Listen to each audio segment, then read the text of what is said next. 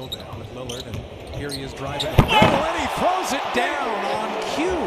Take that, coaches who didn't vote for me. All right, so that answers my question about motivation Yes. for Lillard. Big time jam down the middle. That'll get him started. Walker for three the other way.